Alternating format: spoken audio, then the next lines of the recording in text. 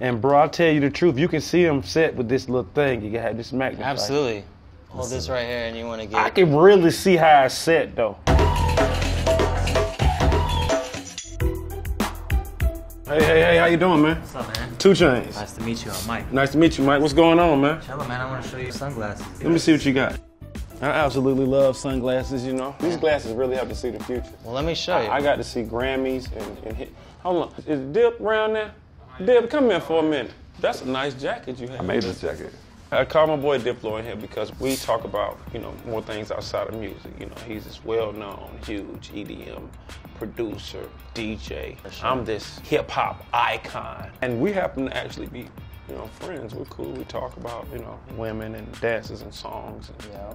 Dances. you know, sports and clothes and glasses. So, you know, we would like to see what you have because he has on some pretty nice looking My glasses game is not popping like yours is, though. This is like a modern, like almost like a luxury look. You'll see there's gold laid on the inside.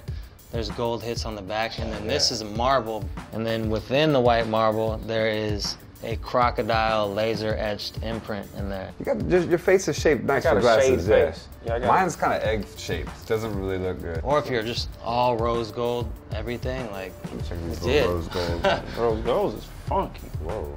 That uh, embellishment on the front is an Allen bolt, which is like a, a reference to skateboarding. Those are the bolts you have on the These top of are- your oh, yeah, skateboard. yeah. yeah. Yeah, we skate up. We do that too. We, know, yeah, we do some kick, kick push and stuff. Down the hill. And nine and a half. So The little ollie. Yeah. Kickflip. Uh, like how much would these run me? Because I really I like these. Those are 120. I like these. Snake skin, 110. Oh, so they're very reasonable. Very reasonable. Nah, man, fuck that. What's in here, man? Yeah. Let me Come crack on with open it. this case.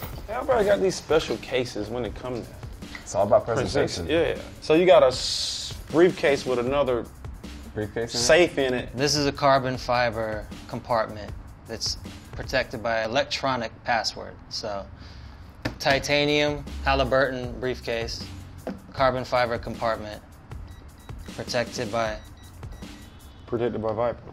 Yeah.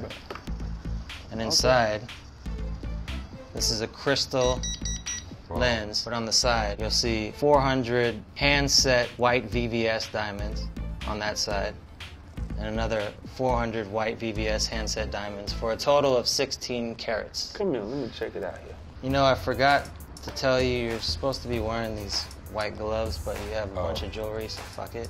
I did wash my hands before. You know, if you want to do it official, there's one, but it's up to you, man. I'm not We'll just, we got it here. I'm not gonna ask you to wear the white glove after the fact. Being but that I you can- might want the experience. Being experience. that I can afford them, so you don't really. so what what happens if we break these? What happens if we if a diamond pops out? You know, I'm always on stage. Yeah, if anything, anything happens to those glasses, they're covered for life. They'll be fixed. If a diamond pops out, we will replace the diamond. But it's just not gonna happen. The level of quality and craftsmanship that goes into these glasses is literally top shelf. It's done by the best jewelry makers in the world. This isn't for going to like the beach. This is for stunting really hard. Can, can you try them on? oh yeah, please try them on. Oh, look. Whoa. Whoa. So what were a pair of, you know, 800 individually diamond set glasses run? This is forty-eight thousand dollars.